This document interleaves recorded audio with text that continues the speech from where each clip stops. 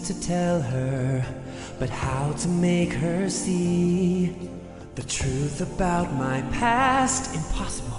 She turned away from me. He's holding back, he's hiding. But what I can't decide. Why won't he be the king I know he is? The king I see.